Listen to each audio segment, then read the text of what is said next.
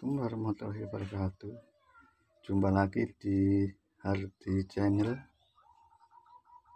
Channelnya ide kreatif dan tutorial. Bagi yang baru bergabung Jangan lupa untuk like, komen, dan subscribe Agar channel ini bisa berkembang. Oke Kali ini di channel akan membagikan tutorial bagaimana caranya membedakan SCR yang baik dan SCR yang rusak. Dengan cara kita akan mengujinya. Sebelum berlanjut saya ingatkan lagi bagi yang belum subscribe silahkan untuk subscribe dulu di channel ini Oke, sekarang kita lanjutkan. Eh, bagaimana caranya membedakan SCR yang baik dan yang rusak? Kita akan mengujinya dengan suatu alat namanya multimeter atau ometer.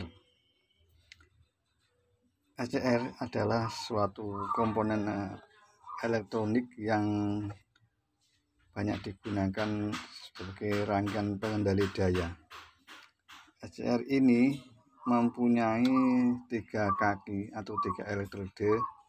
Contohnya ini adalah tipe FIR 3D sesuai dengan databook SCR ini mempunyai urutan kaki dari sebelah kiri ya. K, AG atau katoda, anoda, dan gate jadi tiga satu K A G. Nah, bagaimana cara mengujinya atau mengetesnya ya. kita akan memeriksa koneksitas atau nyambung tidaknya. Yang pertama adalah SC yang baik. SC yang baik maka antara anoda dan katoda mempunyai tahanan yang besar atau tak terhingga. Kemudian yang kedua adalah antara anoda dan gate mempunyai sifat seperti dioda. Nah, kalau tidak seperti itu maka SCR ini adalah rusak atau tidak dapat dipakai lagi. Oke, sekarang kita lanjutkan bagaimana caranya me ngecek atau mengetes SCR baik atau rusak.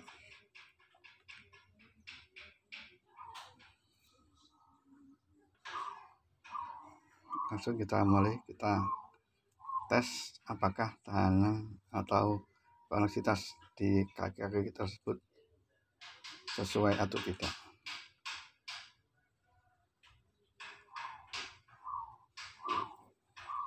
kita gunakan multimeter atau avometer. Kita cek dulu kita selektor kita taruh pada posisi ohm meter atau kali satu kilo. Kali satu kilo. Kita cek dulu apakah nyambung atau tidak alatnya ini. Nyambung ya dan menunjuk angka 0 sekarang kita lihat dulu kaki anoda dan katoda. Ini adalah kaki K A G. Antara K dan G. Kata katoda dan anoda. Kita colokan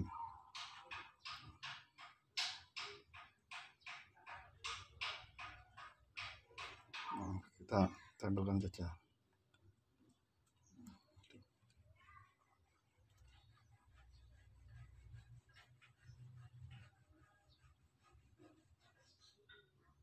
tidak nyambung. Dan yang kedua kita balik.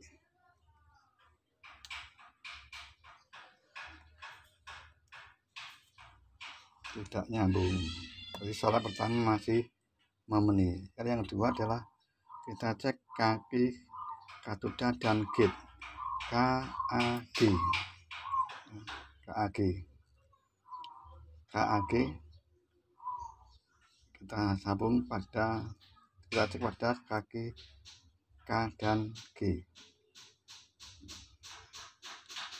Katodanya kita kasih ke jarum merah.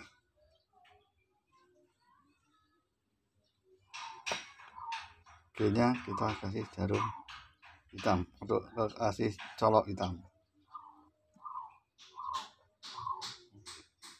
Nah ini aduh menutupi ya.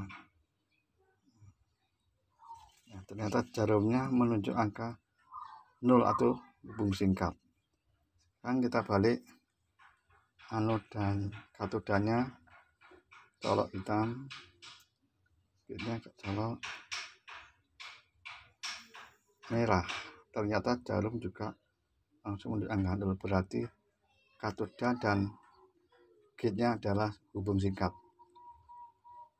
Berarti HCR ini adalah dalam keadaan rusak, ya, walaupun antara kaki anoda dan katoda tidak hubung singkat. Oke, ini adalah contoh untuk HCR yang rusak. Sekarang bagaimana HCR yang baik? Kita uji. Ya. Ini contoh yang rusak nah, berikutnya kita ambil contoh ini ya SCR ini tipenya tidak kelihatan ya tipenya adalah eh, 2P 4M nah, 2P 4M kita cek kita cek pakai apakah masih baik atau rusak ya. Hanya sama dengan tadi ya. Cek dulu ya. Antara anoda dan katoda kita hubungkan nanti kita balik. Nah nutupi. Tidak bergerak berarti mas kita balik colok hitam colok merah di katoda colok hitam di anoda jarum juga tidak bergerak. Berarti syarat pertama masih memenuhi sekarang yang kedua. Yang kedua katoda dan kit kita cek. Katoda pada colok hitam kit pada colok merah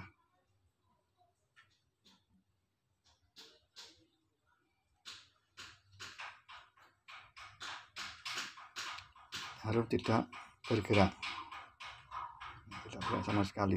Nah, sekarang kita balik colok hitam di git colok merah di katoda nah, jarum bergerak bergerak dua per tiga bagian tapi tidak sampai nol. Nah, berarti SCR ini masih dalam keadaan baik. Kesimpulannya, HCl yang baik antara anoda dan katoda antara anoda dan katoda tidak hubung singkat atau tidak putus. Tahanannya besar atau tak terlingga. Kemudian antara gate dan katoda gate dan katoda mempunyai sifat seperti dioda dioda ya. jadi kalau diukur ya satu keadaan jarum tidak bergerak dan satu keadaan lagi jarumnya bergerak dua per tiga. Berarti HCR itu adalah dalam keadaan baik. Demikianlah cara mengecek atau mengetes HCR baik atau rusak secara sederhana dan mudah Mudah-mudahan informasi ini memberikan manfaat dan memberikan inspirasi. Saya akhiri. Assalamualaikum warahmatullahi wabarakatuh.